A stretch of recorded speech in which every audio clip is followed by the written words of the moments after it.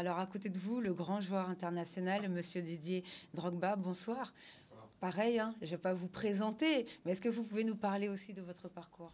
Ouf. Mon parcours, je suis né en Côte d'Ivoire. Je, euh, je suis ensuite allé en France, un peu comme euh, le grand frère ici, Luxonor, mais moi à l'âge de 6 ans. Euh, pas pour jouer au football, mais pour, pour les études et pour avoir peut-être plus de chance dans ma vie.